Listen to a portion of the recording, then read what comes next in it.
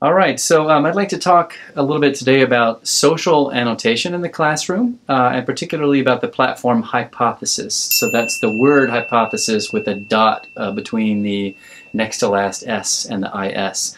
Um, Hypothesis is a wonderful nonprofit um, organization that has devised an annotation tool that's made for annotating almost anything on the open web. Uh, it's a very powerful tool for um, everyday people uh, doing their whatever they read on the web. Uh, it's especially, though, useful, I think, for the classroom, and I'll explain why.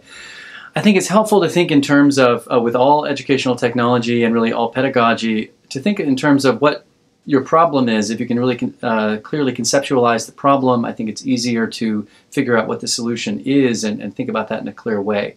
And in this case, uh, the problem I think is a very common problem, which is to think about how to ensure that students are reading at all, first of all, that they're actually doing their homework, uh, but more than that, that they're reading in a rigorous way and that they're reading in the way that you want them to read. And uh, in my 10, 15 years of teaching literature, um, I've always felt that that period in which the students take the assignment, go home, sit in their garret, and and spend time with the text is always something of a black box. Uh, I, I, have some evidence about what goes on there when they come back to their seminars or they write their papers or write their informal responses. But what really happens as they're engaging with the text is a bit mysterious um, in ways that can be problematic, especially with uh, theoretically dense text, with formally inventive texts that um, are intimidating to students, which is a lot of what I teach. So the problem is helping students, supporting students, and just learning about what happens when an individual student engages with um, an individual text. And hypothesis represents an interesting solution, I think, to that problem for two major reasons. One is that when students sit down with the text in electronic form and they, they start to use the tool, and I'll explain the mechanics of the tool in a moment, but when they sit down and use that tool, they um, do the same thing that students have done for centuries and millennia, which is to jot down notes in the margin of their text, but they're doing so um, in a way that uses the affordances of the web to do this in a publicly visible way. Uh, so I can see the marginalia that they make in the text, um, and so it comes a little bit out of that black box and into, into consciousness. The second aspect, and this is even the more powerful uh, factor, I think, is that the students can, if you configure the tool the right way, see each other's work.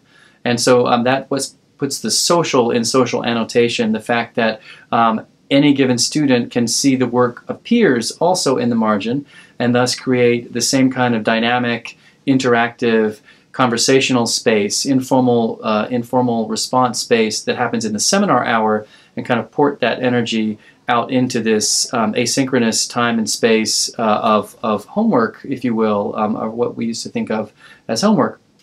So this is useful in myriad ways, uh, ways that are both objective and subjective. It allows new possibilities for assignments where um, I could give students uh, questions or structured responses by kind of seeding the text with, um, with questions that students can answer. Um, it also has a very powerful subjective dimension, uh, by which I mean uh, helping students with the kind of anxiety, um, an overwhelmingness of a new text, especially, again, a kind of um, theoretically dense, philosophically rich, formally experimental text that doesn't have obvious kind of handholds and on-ramps. Um, using this uh, sort of technique of social annotation, I think brings the text a little bit closer to students. It allows me to provide some of that infrastructure, some of that scaffolding or, or um, handholds in the text by kind of um, preceding the text with some apparatus to kind of help them figure out what they need to, to pay attention to. Um, even more importantly, I think the very fact that they can see each other in that text in real time uh, allays anxieties. Uh, one always has this feeling of almost you know, imposter syndrome that, that this text wasn't written for me, that I can't get it, that I can't do it, or that I'm missing something that everyone else is getting. I think uh, using social annotation um, techniques and technologies allows students to see, again, in real time as it unfolds in those hours in which the, the homework is getting done, other students semi getting it or not getting it. Um, uh, they can sort of help each other. They can make comments on each other's comments in the margin and create this kind of little community around the text um, that, again, uh, can feed into the same kind of energy that occurs in the seminar. So another advantage of Hypothesis is that it is extremely flexible um, and useful for people working in a wide range of disciplines and uh, for a wide range of applications even within a given course or a given discipline. Um, it is uh, wonderful for literary criticism, which is my field, uh, where a lot students are convening around a text and reading it very intensively together. Um, I think that it's equally useful, and this is kind of the main utility of the tool, I think, uh, in any situation in which students are trying to read something closely, where they're trying to analyze an argument, where they're trying to um, analyze the form of a piece of writing in any uh, shape, form, or fashion. Uh, basically, any text where you would be tempted to or obliged to kind of pull out your pencil and highlight, underline, jot down notes, argue with the, the author. I think uh, that is what this tool does. Uh, I think it also lends itself to other possibilities, however, that go beyond this kind of simple uh, marginalizing um, or simple jotting in the margin. Uh, I have used it for um, kind of structured responses. So the, the instructor can add comments to a text or add questions to a text that students are then uh, encouraged to kind of respond to. Uh, the tool um, also supports threaded discussion, meaning that uh, one can comment on a comment. One can also use the tool for more creative assignments. Uh, I have, for example, in my pedagogy, done uh, role-playing exercises with Hypothesis, uh, where students annotated uh, T.S. Eliot's famous 1922 poem, The Wasteland, by uh, sort of playing the role of reviewers of the poem in the 1920s, kind of the first wave of public readers of the text. And so um, they got to play a persona and actually um, include quotes from research they had done from actual reviews of the poem and kind of embed that in the poem. Another project I've done with students that is a little bit um, out of the box is having students create an annotated edition of a text using Hypothesis. So I took a public domain text, in this case I think it was a novella by Melville, and had the students do some research on the text and add the kind of notes that you would see in a Norton Critical edition, uh, which gave them a sense of what is involved in the kind of editorial work in the discipline. So there are many ways uh, beyond just sort of base level uh, scribbling in the margins that one can use this tool uh, and use this tool in ways that especially um, exploit its ability to bring people together in this kind of social way around a text. So how do you actually get this tool up and running? Um, one of the advantages of Hypothesis is that it's very uh, sort of skinny, it's very minimalist, it's very simple. Uh, so you navigate to Hypothesis, the word hypothesis with a dot before the trailing IS. Uh, the URL I think is right here. And uh, it's a free, easy sign up. Um, and once students just create a username and a password, uh, they're up and going. Uh, there are there's a little bit of nuance uh, to to getting it up and going in your particular browser, um, but there are various ways, pathways to to get the tool plugged into any given text. Um, and in my experience, it's very very simple for students uh, these days to figure out um, something on this level. So uh, 10 minutes, 15 minutes for each individual user, and you're up and going going, um, and I've been very um, pleased to see how easy and intuitive it is for students to navigate it and kind of get onboarded to the whole experience.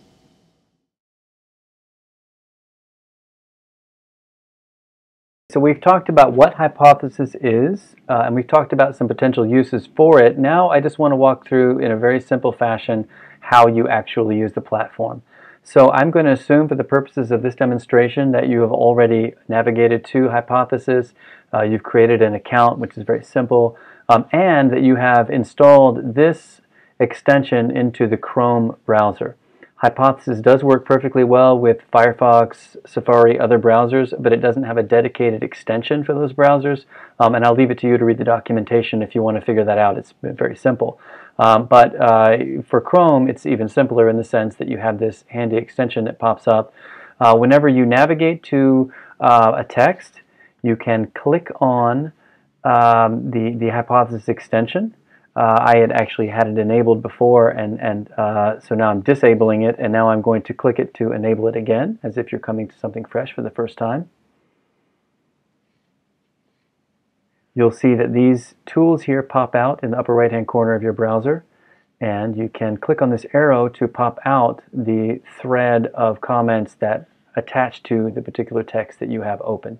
So Uh, first, you can see what other commenters have, ma have made, have said about this particular text. You can also, more importantly, make your own comments. So I'm going to highlight a piece of text, click Annotate, and it's prompting me that I must be logged in to create annotations, which I forgot to do, so I'll do that very quickly. Now I'm logged in.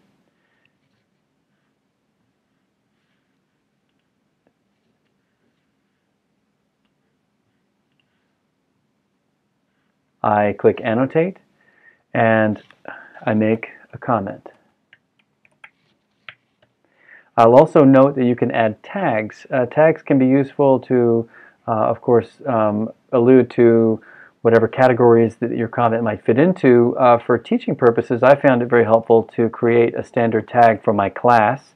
Uh, so let's pretend that I'm teaching a, a class um, uh, English 399 um, and I'll put my name to it and I'll have all of my students use the standard tag so that as the class proceeds I can pull all the comments made uh, from a certain class uh, in one in one feed so I can see what all the students are writing.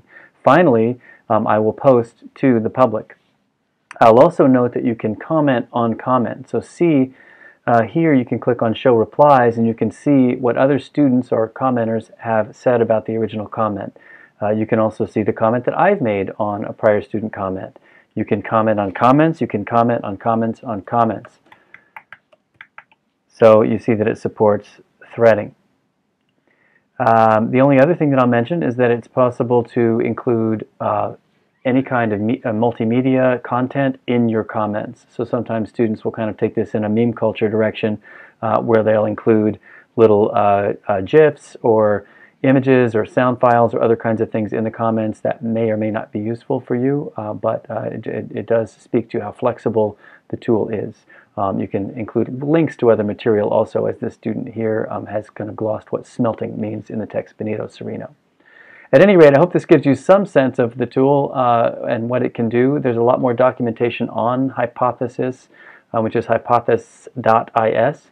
And uh, if you want to know more about it, feel free to contact me. Thank you.